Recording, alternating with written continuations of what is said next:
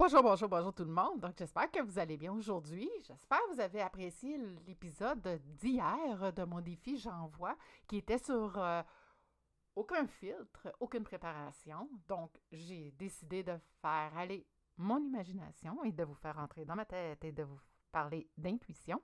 Alors, j'espère que vous avez aimé ça. Si vous l'avez manqué, n'hésitez surtout pas à aller le réécouter, pas le réécouter, mais l'écouter, bien sûr. Alors, aujourd'hui, euh, on avait encore une fois une contrainte, hein, un peu comme tous les autres euh, épisodes euh, qui étaient passés et ceux à venir. donc, aujourd'hui, c'est un échec qui m'a fait grandir. Bon, là, je savais pas trop quoi faire, je savais pas trop quoi prendre comme échec. Puis là, je me suis dit, bon, qu'est-ce que je pourrais bien développer? Qu'est-ce que je pourrais, ben, pas développer, mais qu'est-ce que, ouais, sur quoi je pourrais développer pour le podcast d'aujourd'hui? Donc, euh, j'ai décidé de euh, vous parler ben, de, mes échecs, parce que j'en ai pas juste un, j'en ai eu plusieurs, euh, de mes échecs amoureux. Tiens donc, mais oui, parce que, veux, veux pas, ben, ça m'a fait grandir. Puis, ben, j'ai goût de vous partager ça aujourd'hui. J'ai goût de venir ici, aujourd'hui, derrière le micro, sans tabou, sans sans me retenir, vous parler de mes trois échecs amoureux. Ben oui, une fille ne comprend pas, hein? mais d'un autre côté, vous connaissez l'adage jamais 203, ben c'est ça. Fait que euh, j'ai pas été vraiment chanceuse dans ma vie amoureuse. Euh, ça n'a pas toujours été rose, rose, rose. Puis euh, disons que ça n'a pas toujours été facile. Ben aujourd'hui, ben j'en sors grandi. Alors voilà. Dans le fond, j'ai eu trois euh, relations toxiques. Mon premier copain que j'ai eu, j'étais dans le début vingtaine, et puis j'ai quand même resté sept ans avec lui. Euh, ben, resté, on a demeuré ensemble pendant à peu près deux, trois ans, puis euh, on, on s'était comme fréquenté cinq ans, si je peux dire, avant d'aller demeurer ensemble. Et puis, cette personne-là, elle était toxique dans le sens que il buvait beaucoup. Euh, il y avait un gros problème de boisson. Et quand j'arrivais de travailler, je travaillais euh, dans une librairie au Chapters à Pointe-Claire, pour ne pas le nommer. Puis, euh, ça arrivait des fois que j'avais le chiffre de soir. Je commençais à 3 h ou 4 h et je finissais à 11 h le soir. J'arrivais à l'appartement, il était 11h30, minuit moins quart. La télévision roulait. Lui, il était sous-mort, et c'est quoi de le dire, sous-mort sur le sofa. Des fois, je me demandais comment il faisait pour, en bon québécois, ingurgiter tout ça. Il y avait une caisse de 24 qui était euh, complètement vide et euh, une ou deux bouteilles de bière, euh, pas de bière, mais une, une, ou deux bouteilles de vin, et ce n'était pas rare qu'il y avait deux bouteilles de vin, la caisse de 24 vide à côté du sofa, lui sur le sofa, couché, étendu là, et oh my god, hein? il ronflait. Fait que ça, ça a été mon lot euh, à tous les jours, à chaque fois que, ou presque, quand que je revenais de travailler. Il était sous mort. Euh, il était souvent en problème de boisson. Ça arrivait des fois que j'allais le chercher chez, chez des amis parce qu'il il avait trop bu.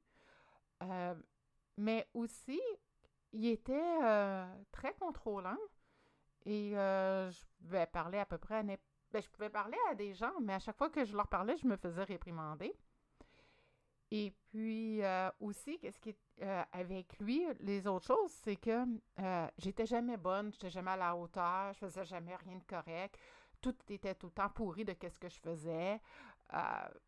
puis c'était, lui, c'est se considérait là, le, le nombril du monde, hein? Tu sais, le, monde qui tourne autour de son nombril, là? Mais c'est ça. C'était comme ça avec lui. Et c'est pas de le contredire. Il y a la vérité pure. Ben oui. Fait que, quand ben même que je dirais n'importe quoi, je pars perdante en partant, même s'il me demande mon opinion. Et puis, euh, de toute façon, c'était tout le temps de la bullshit en bon québécois. Qu'est-ce que je, qu'est-ce que je disais? C'était jamais assez bon pour lui. J'étais jamais assez bonne pour lui ça s'est comme pas amélioré avec le temps. Puis aussi, quand j'étais partie euh, la première fois, parce que j'y retournais avec, euh, quand que j'étais partie la première fois, euh, il avait lancé dans l'appartement une chaise, vous savez, les chaises à roulettes là, pour les bureaux. on avait ça dans la cuisine. Et puis, il a pris la chaise, il l'a lancée sur le mur. Si je me tassais pas, c'est moi qui recevais la chaise en pleine face. Quand j'ai vu ça, j'ai fait Oh my God, moi je peux plus rester là-dedans. C'est rendu, c'est rendu plus vivable. Euh, il était rendu méchant verbalement. Il m'a beaucoup rabaissé. Donc, euh, non, moi j'arrête ça là. J'ai fini d'endurer ça, ce calvaire-là. Je sors de cette relation toxique-là. Je n'en peux plus. Mon père était venu me chercher. Et il m'a emmené dans le nord. Et puis, euh, j'ai resté avec lui euh, quelques temps avant de me trouver un appartement, là. Euh, avant de me trouver un autre appartement. Et puis là, après ça, je suis déménagée chez ma mère. Puis après ça, j'ai rencontré quelqu'un d'autre. Bon. Rencontre ce quelqu'un d'autre-là. C'était le frère d'un collègue de travail. je travaillais pour, comme réceptionniste dans un concessionnaire automobile à l'époque à l'île Perrault. Et puis, euh, cette personne-là, il est arrivé, puis euh, il, réparait les ordinateurs. Il était très calé là-dedans. Et c'est ça, il y avait ma boss, elle avait besoin de se faire arranger l'ordinateur. Puis c'est comme, il y a eu comme un genre de coup de foudre, pas un genre, il y a eu un coup de foudre entre lui et moi. Et puis, euh, on, on a tout de suite, comme tout de suite cliqué, si je peux dire ça comme ça. Mais là, euh, c'est ça. Là, ça a commencé comme ça. Et puis là, tranquillement, pas vite, commençait à se fréquenter. Puis là, c'est ça. À un moment donné, on va se promener euh, dans un endroit près de chez nous, au bord de l'eau, qui s'appelle euh, Sainte-Anne-de-Bellevue.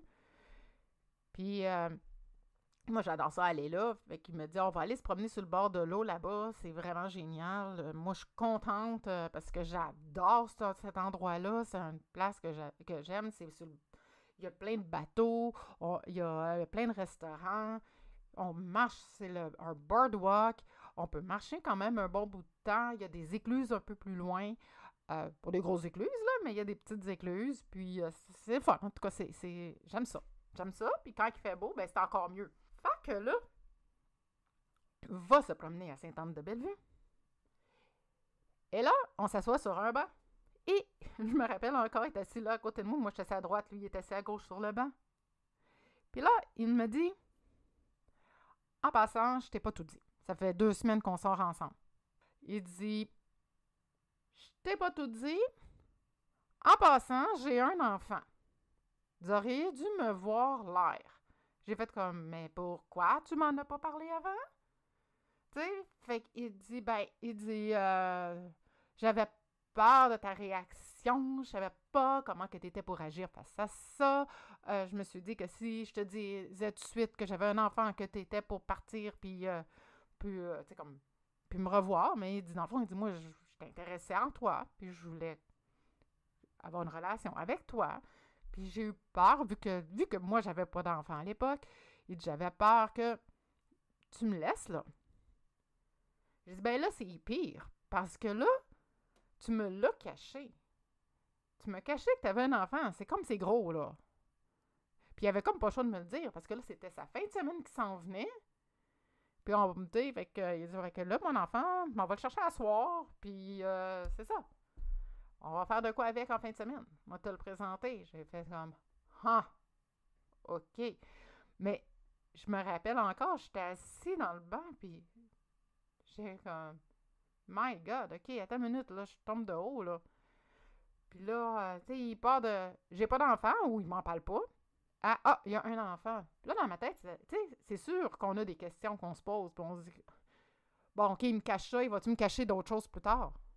C'est sûr que ça, tu sais, le maudit hamster dans la tête, là, il finit toujours par, euh, par tourner, cette, cette donnée-là. Bon, avec lui, ça a été coup-ci, coup-ça avec celui-là. Dans le fond, il était très contrôlant sur qui que je parlais. Comment qu'il s'y prenait pour me contrôler avec qui que je parlais? Je disais au début qu'il était euh, très calé en informatique puis qu'il réparait des ordinateurs. ben, il allait dans mon ordinateur. C'est lui qui avait confectionné mon ordinateur. Il avait tout monté. Fait qu'il allait dans mon ordi. Puis là, c'est fou, là. Puis là, elle est checké avec qui j'avais chatté sur Messenger. Ben oui. Il regardait c'était avec qui? Puis si jamais j'avais supprimé, ça j'ai su ça plus tard, si jamais j'avais eu le culot, on va dire ça comme ça, si j'avais eu le culot d'avoir supprimé une conversation avec quelqu'un, ben, il retourné dans l'ordinateur pour aller voir mes messages supprimés. Ouais. Quelque chose, hein? Ça, on appelle ça du contrôle le plus total. Il voulait voir avec qui je parlais. Il voulait voir avec qui je discutais. D'un coup que je le tromperais. Mais moi, j'ai toujours eu pour mon dire que la personne qui a peur qu'on le trompe, nous trompe. Parce qu'il le fait déjà. Moi, c'est comme ça que je pense. Je ne sais pas pour vous comment que, c'est quoi votre pensée par rapport à ça. Mais moi, c'est comme ça je vois ça. Tu sais, en tout cas, moi, c'est ça que je pense. Si, si lui, il, m'accuse de, de, ça, ben, je m'excuse, mais si tu as une crainte que je te trompe, tu me trompes, mon homme. il y avait ça. Euh, je pouvais à peine sortir. Ben, je pouvais sortir. Je sortais. Mais tabarouette, le questionnaire que j'avais en revenant, c'était fou. Puis lui, il sortait jamais. Il était très, très, très sédentaire comme personne.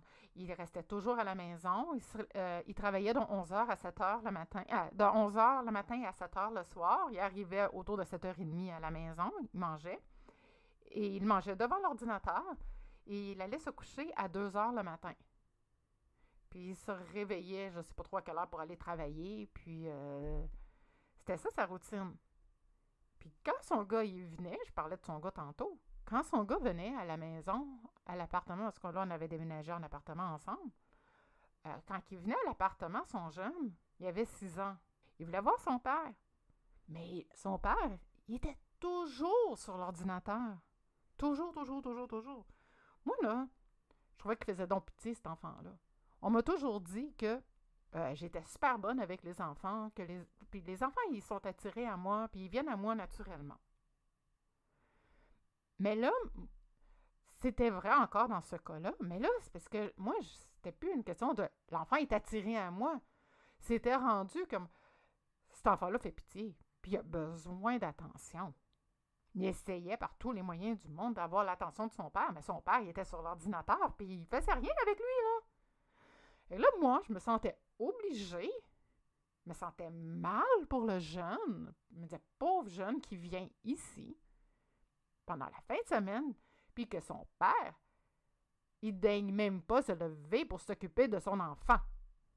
J'étais enragée. Vous pouvez même pas savoir comment. Juste en parler, ça, m'enrage.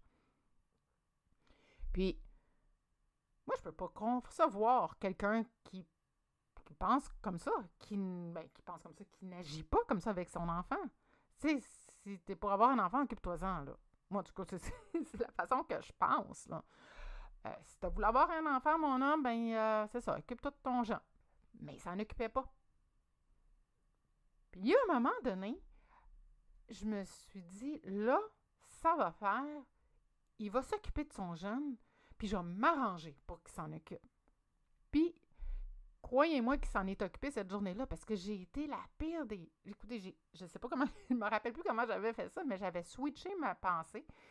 J'avais switché ma façon d'être et j'étais rendue vraiment une pain in the ass, là, on peut dire, là. Tu sais, comme quelqu'un qui. Tu sais, j'ai vraiment changé bout à bout, puis là, j'étais plus endurable. Puis je les ai sortis les deux. Je dis là, vous deux, vous sortez. Je veux plus voir personne ici dans la maison. J'ai des choses à faire dans l'appartement. je vais faire mon ménage, je vais faire ma bouffe. Vous deux, vous en allez. Ben, il est sorti, il est allé avec son jeune. Mais si j'avais pas agi comme ça, il l'aurait pas fait. Puis son jeune, était très content. Il était hyper content de voir son père. Il était super content d'avoir surtout fait de quoi avec. Mais c'est ça. Il est, Il s'occupait pas de son jeune. Il s'attendait à avoir une gardienne pour son enfant. Il me contrôlait. Puis il faisait tout euh, pour me rendre la vie difficile. Pas encore là, ben, lui, c'était moins pire dans, dans c'était moins pire du côté euh, que bon pour me rabaisser tout ça, un peu moins, mais il contrôlait quand même mes allées et venues. Fait que ça, c'est pas mieux non plus. Fait que je me sentais comme un peu euh, emprisonnée, pas bien, euh, c'est ça, emprisonnée dans la, dans tout ça là, vraiment. Non, je me sentais vraiment pas bien dans cette relation là. Ça a duré environ un an. Ça l'a arrêté, euh, la relation, quand euh, je suis rentrée à l'hôpital. Euh, j'avais fait une grosse rechute de ma maladie de Crohn. Ça, c'est à, cause du gros stress que j'avais, que je vivais, que j'ai vécu avec lui. parce que, veux, veux pas, c'était stressant. C'est que c'est ça, j'ai, j'ai fait une rechute de ma maladie de Crohn. Je suis allée à l'hôpital. Et puis, ben, le signe le plus plausible et le plus évident que j'ai eu, si on peut appeler ça un signe, j'ai passé une semaine à l'hôpital à 10 jours. Et dans tout ce temps-là, dans les 7 à 10 jours que j'ai passé à l'hôpital, il n'est pas venu me voir et ne m'a même pas appelé. Ma décision était prise quand je suis sortie de là. Je suis partie. Il était surpris quand je lui ai dit que je m'en allais, mais c'est ça. Je dis, écoute, t'es même pas venu, tu m'as même pas appelé voir comment que j'allais. Fait que j'ai dit, tu ne mérites pas de m'avoir. Puis il m'a dit, est-ce que tu sais quelle journée qu'on est aujourd'hui? J'ai dit, oui, on est le 7 juin. J'ai dit, ah ben oui, ça fait un an aujourd'hui qu'on est ensemble. Mais je suis désolée, mais c'est aussi la journée que je m'en vais. Parce que là, j'ai décidé que je me choisissais encore. Puis là, je me suis dit, bah. Et non, avec qui que j'ai eu de la difficulté, un autre, un autre contrôlant, un autre control freak, ça n'avait juste pas de bon sens.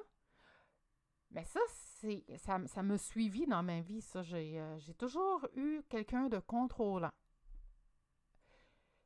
Le dernier euh, que j'ai eu par après, le troisième contrôlant que j'ai eu, là, j'ai eu le jackpot.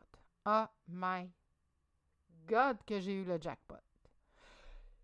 Là, j'ai eu de la violence conjugale à côté. Les autres aussi, j'avais eu de la violence conjugale parce que le contrôle, puis euh, lancer des objets, comme je disais pour le premier, c'est de la violence conjugale aussi.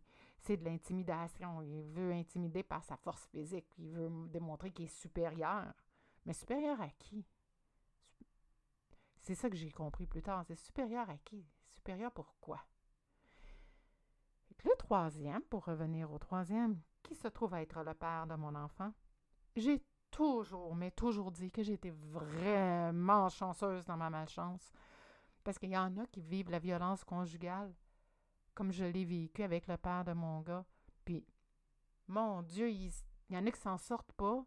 Il y en a qui virent euh, sur le top carrément, puis qui ont de la misère à s'en remettre puis à se rebâtir une confiance en soi par après. C'est ça qui est difficile parce que avec le père de mon enfant, mais avec les autres aussi, euh, ce qui été comme un point commun, je pourrais dire, c'est qu'ils m'ont rabaissé aussi moralement, puis tellement contrôlant que j'étais rendue au point que je me demandais si j'étais capable de fonctionner toute seule. Parce qu'ils me le disaient. Les trois me le disaient. J'ai qu'une chance que je les avais. Parce que si je les avais pas, qui d'autres qui pourraient m'endurer? Puis on m'a toujours dit, depuis que je suis petite, que j'ai un caractère de cochon. Fait que là, eux autres qui me disent, t'es chanceuse de m'avoir, il n'y a personne d'autre qui pourrait t'endurer. J'y croyais. J'y croyais. Au plus profond de moi, j'y croyais. Puis là, arrive le père de mon gars, ça fait pas exception à ça je suis bonne à rien, je fais jamais rien de correct, la bouffe est pas bonne, euh, je suis une moins que rien, je suis une putain. Mais ça, c'est au fil du temps que c'est au début, c'est tout le temps, tout le temps, tout le temps beau. Au début, la relation était super belle. Euh, j'étais sa princesse. Euh, j'étais donc la meilleure. j'étais bonne dans plus que la relation allait, plus le contrôle embarquait. Plus son comportement contrôlant sortait. Plus son comportement de... plus, euh, comment je pourrais dire, violent, il sortait aussi. J'ai eu avec lui, je disais tantôt, j'ai eu le jackpot. Pourquoi je dis que j'ai eu le jackpot avec le père de mon gars? Parce que j'ai eu à la fois la violence euh, psychologique, la violence verbale, la violence monétaire, la violence sexuelle et euh, ouais, c'est ça. Ouais. Ben l'autre c'est la violence spirituelle, mais ça je n'ai pas eu là. Mais euh, c'est ça. C'est ces quatre-là, les principales que j'ai eues avec lui. Il contrôlait tout, il voulait avoir un contrôle sur tout. Et puis, euh, j'avais d'affaires à agir, puis j'avais d'affaires à écouter qu'est-ce qu'il disait. Parce que quand il n'écoutait pas, j'avais une mornif, j'avais une plaque d'en face. J'ai déjà eu euh, deux fois les yeux au beurre noir. Il me claquait la porte sur le nez. il me jetait en dehors d'un véhicule qui qui roulait. Il conduisait, il me jetait en dehors du véhicule. J'étais enceinte. Il me menaçait de m'envoyer, euh, de me renvoyer au Québec. On restait en Alberta. Il m'a menacé de m'envoyer au Québec dans le premier avion le lendemain matin, qu'il n'a jamais fait. Euh, il m'a menacé de se suicider, qu'il n'a jamais fait. Ben, il a failli le faire, mais ça, c'est plus tard, puis je l'ai su plus tard, mais on n'était plus ensemble. Il y a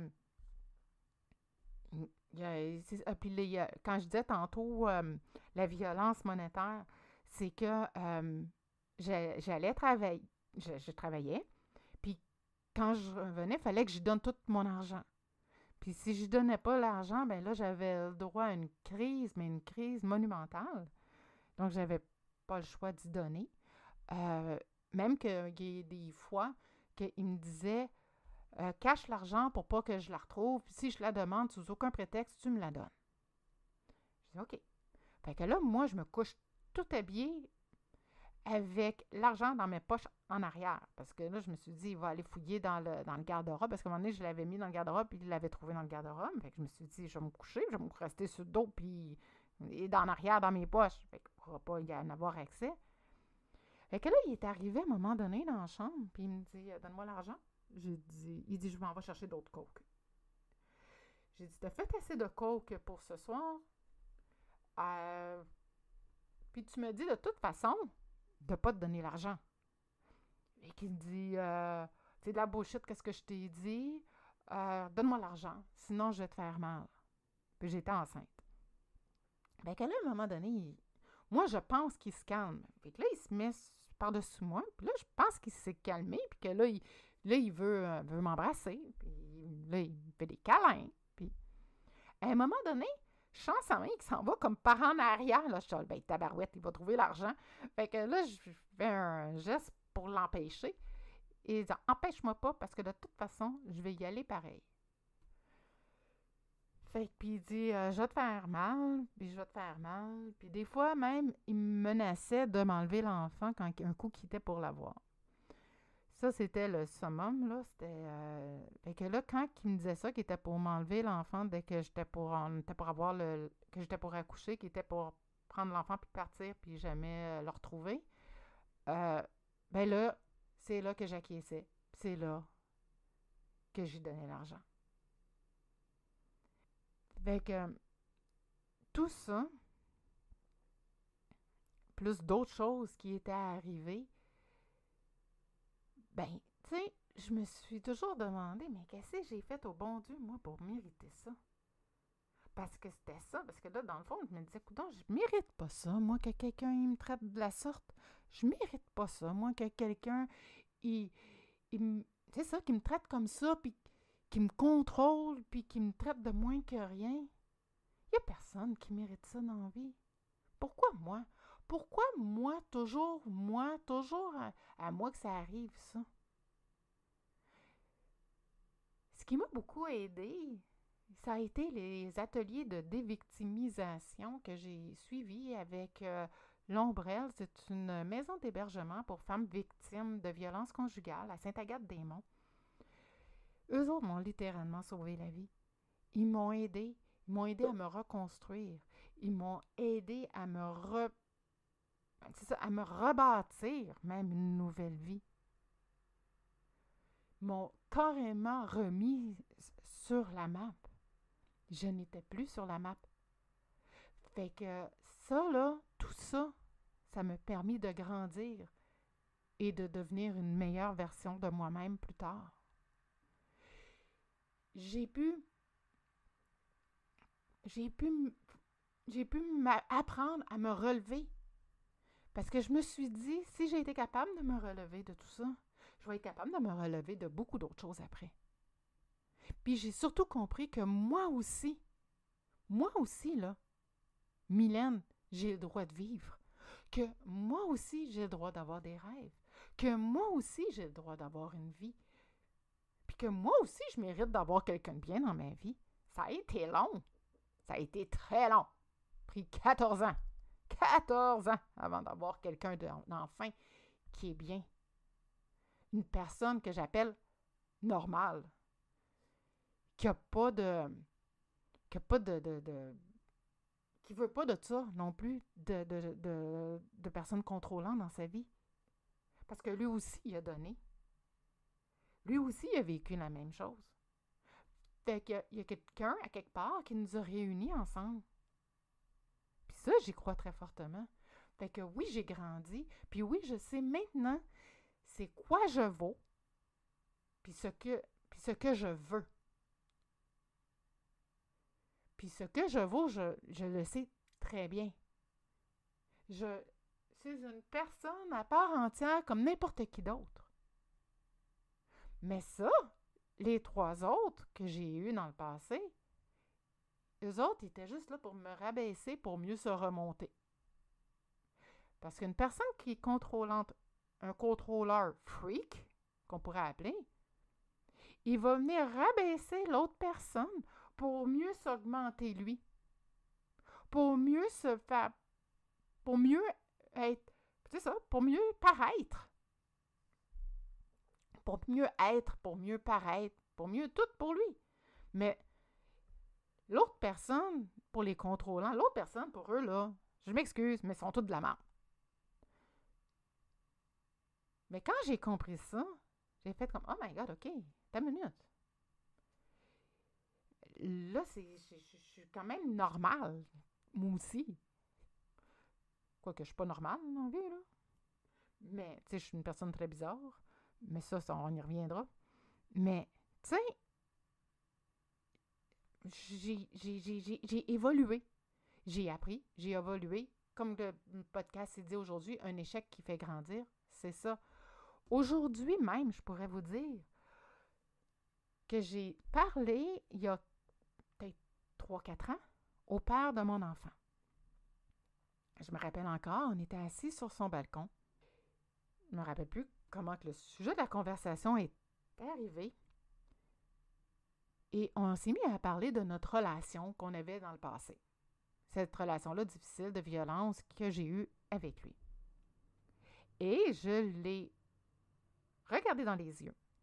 Et je lui ai dit Merci d'avoir été un trou de cul dans ma vie.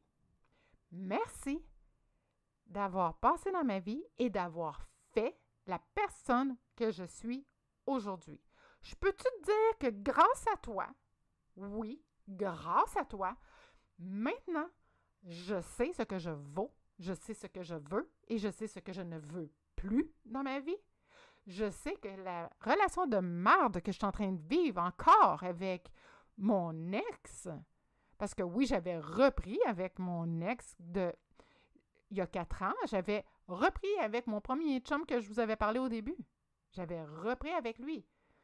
Puis là, j'avais dit à mon, au père de mon gars, j'ai dit là, écoute, euh, j'ai, grâce à toi, ça m'a ouvert les yeux. Parce que si tu n'avais pas passé dans ma vie dans le passé, ben, je serais probablement encore avec lui. Hein? Puis j'aurais pas rien compris encore, puis je serais pas partie, puis je serais encore là. Mais grâce à toi, je sais maintenant que je vaux plus que ça, puis que je mérite pas de me faire traiter comme qu'on me traite maintenant. Puis que je veux plus. Puis je veux plus dans une relation. Fait que, merci. Le bien que ça fait quand on fait ça, ça, on appelle ça grandir d'un échec. Ça, on appelle ça grandir et évoluer puis lâcher prise. Mon Dieu, le lâcher prise. Ça, c'est une autre affaire. Fait que c'est ça que ça m'a permis de faire, ces relations-là. C'est ça que ça m'a permis de grandir, d'évoluer, de lâcher prise, puis d'apprendre que la personne la plus importante sur la Terre, c'est moi. Oui. Ça, là, quand j'ai compris ça, mon Dieu, le reste s'est mis, à, bien aller. Puis je peux vous garantir que le jour où j'ai décidé que je lâchais prise avec le père de mon gars, mon gars avait à peu près 5 ans. Quand j'ai dit, là, aujourd'hui, là, ça va faire. Puis je vais vous dire c'était quoi le déclencheur. Puis je vais, je vais bientôt finir là-dessus. Euh, pas là-dessus, mais je vais bientôt finir. Dans le fond, le déclencheur du lâcher prise, mon Dieu Seigneur, je m'en rappellerai toujours. Je suis à la Colombe, un centre euh, pour femmes, euh, le centre de femmes de Saint-Agathe-des-Monts. donc, c'est un centre où il y a beaucoup d'activités qui se font. Et puis là, pour les femmes, pour le briser l'isolement, tout ça, il y a des ateliers et tout. Et puis là, je suis là, puis il y, a une dame qui est là, je me rappelle même pas l'avoir revue par après. Des fois, il y a des gens comme ça qui arrivent et qui partent dans notre, dans notre vie. Ils sont là pour quelque chose. Ils nous apportent quelque chose. Fait que là, cette fille-là, cette femme-là, à un moment donné, je suis en train de parler de mon, ben, mon ex, le père de mon gars. Et puis là, à un moment donné, elle me dit, tu sais que quand que en parles comme ça, là, là, j'étais, là, j'étais fâchée. Là, quand j'en parlais, là, j'étais frustrée contre lui. Là, j'avais de la haine, j'avais de la colère. J'avais beaucoup d'émotions contre lui. Euh, j'avais de la rage aussi encore qui me restait dans, dans moi, tout ce qu'il avait pu me faire. Et là, elle me dit, tu sais qu'en en parlant comme ça de lui, sais-tu qu'est-ce que tu es en train de faire? Elle dit, tu es en train de le mettre sur un pied d'estal. Oh my God! Là, j'ai fait comme What? Non! Pas vrai. Ce gars-là, il ne mérite pas d'être mis sur un pied d'estal au grand jamais. C'est ça, j'y ai répondu. Ben, croyez-le, croyez-le pas, à partir de ce moment-là, très précisément, mon lâcher-prise est arrivé. Parce que je me suis toujours dit dans ma tête, ce gars-là, il ne mérite pas d'être mis sur un pied d'estal au grand jamais. Voyons donc, après tout ce qu'il me fait, no oui. Fait que c'est à ce moment-là, je vous jure, le switch est fait. J'ai lâché prise vous savez, le fameux retour d'ascenseur, là, tu craches dans les airs, ça te revole d'en face à un moment donné? Fais le bien, il te revient le bien, fais le mal, le mal te revient? Bon, ben, c'est ça. J'essaie de lâcher prise là, et c'est là que, my God, tout est arrivé. Le pauvre, le pauvre. Et là, là, ça s'est mis à super mal aller pour lui. Je vous jure, une semaine ou deux après, là, il faisait gaffe par-dessus gaffe, tellement qu'il se ramassait en prison. C'était fou. Fait que c'est ça que ça m'a apporté. C'est ça que ça m'a ça m'a aidé à cheminer. Ça m'a aidé dans le lâcher prise, puis ça m'a aidé aussi à comprendre qu'à un moment donné, on a un certain karma dans la vie, puis euh, si tu fais le bien, le bien va te revenir. Si tu fais le mal, le mal va te revenir. Ça a été long. Dans mon cas, ça a pris euh, ça a pris pas loin de cinq ans avant que l'ascenseur revienne. Ça a descendu, puis ça a descendu de son bord. Ça a été un soulagement. J'allais dire Alléluia pour moi. Ben oui. Puis, je peux vous dire que c'est garanti, ça. Je vous jure, ça a fait un switch. Euh, c'est sûr que, bon, OK, après ça, j'ai eu. J'ai retourné avec euh, le premier chum que j'ai eu, puis là, lui, ça a été une vraie, une vraie catastrophe. Comme je disais, il se pensait vraiment pour le nombril du monde. Puis il se pensait comme. Euh, puis j'y avais dit à un moment donné de descendre de son piédestal, que ça y faisait pas bien parce qu'il était toujours en train de se valoriser puis à se mettre plus haut que qu'est-ce qu'il est en réalité. Mais il m'écoutait pas, fait que je suis partie. Et que tout ça pour dire qu'on peut grandir de nos échecs. Parce que oui, c'était pour moi des échecs, des gros échecs dans ma vie. J'ai raté ma vie amoureuse pendant 34 ans. Même plus que ça, là. Euh, je suis rendue à 50. Fait que j'ai manqué ma vie amoureuse pendant quasi tout le temps de ma vie. Par contre, ça m'a appris des choses sur moi. Ça m'a appris à me connaître. J'ai dû apprendre à me connaître. J'ai dû apprendre à me centrer. J'ai dû apprendre à me, à me retrouver, à me connaître, puis à savoir, moi, je suis qui vraiment? À savoir, moi, c'est quoi je veux vraiment? Fini le temps d'être dans l'ombre des autres. Fini d'être dans l'ombre des autres, puis de, de vouloir plaire à tout le monde. C'est fini ce temps-là. J'ai fini de vouloir faire plaisir à tout le monde. Maintenant, là, la façon que je pense, c'est qui même me suivent.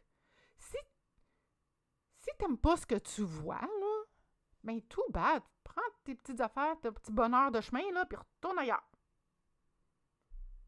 Moi, je suis à prendre ou à laisser. Fait que ceux qui n'aiment pas ce qu'ils voient, ben c'est tout bad pour eux autres.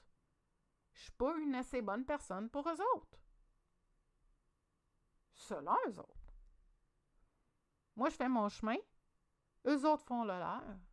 Puis, sais, ceux qui sont pas contents avec ce qu'ils voient de moi, ben c'est leur problème. Ça aussi, j'ai appris ça avec le temps. C'est pas moi, c'est la façon que les autres me perçoivent, c'est pas c'est pas mon problème, c'est leur perception. C'est pas c'est pas à moi de, de c'est pas à moi de prendre le blanc. Ben au contraire. C'est eux. C'est eux qui, qui ont ce problème-là. C'est pas moi. Puis ça, quand je l'ai compris, c'est une autre chose, ça, que j'ai compris grâce aux relations que j'ai eues toxiques. C'est grâce à tout ça, grâce à toutes ces relations-là, grâce à toutes ces trois personnes-là qui ont passé dans ma vie, qui ont fait le tout, qui ont fait tout ce que je suis maintenant et aujourd'hui. On allait dire et pour toujours, pourquoi pas? Parce que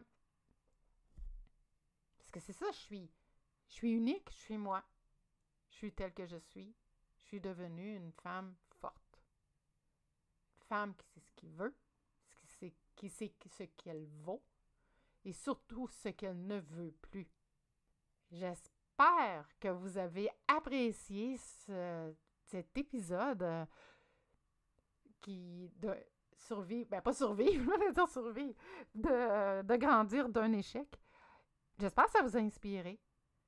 J'espère que ça, vous, ça va vous aider à grandir vous aussi. Je vous remercie de me suivre dans cette euh, folie que j'ai eue de partir dans ce défi de J'envoie 2023, 31 épisodes imposés. My God, à quoi j'ai pensé, mais c'est pas grave. Maintenant que je suis dedans, je suis partie, puis comme je disais au début, j'aime ça. Demain, le 7 janvier, je, vais venir vous parler d'une source d'inspiration. Je ne l'ai pas trouvé encore. D'habitude, je prépare mes, euh, podcasts euh, le jour même, là, donc j'arrive avec quelque chose j'arrive avec quelque chose, puis euh, et voilà, ça débloque sur euh, ça débloque sur un sujet et euh, je me revoilà partie. Fait qu'une source d'inspiration, ça peut être, on nous parlait d'un livre, d'une personne, donc ça peut être, donc ça peut être quelque chose, c'est ça, je sais pas encore ça va être quoi, un livre ou une personne, j'en ai aucune idée. Mais sûrement une personne, j'en ai une en tête, probablement que ça va être avec elle que je vais parler demain. Pas, pas avec elle que je vais parler, mais je vais parler de elle demain. Donc, euh, elle m'a beaucoup aidé. Puis, oui, je crois que c'est une très bonne personne, une très bonne idée de parler de cette personne-là. Je vous en dis pas plus. Moi, je vous souhaite de passer une très belle fin de journée. Merci de m'avoir écouté jusqu'ici encore une fois. Et on se dit à demain.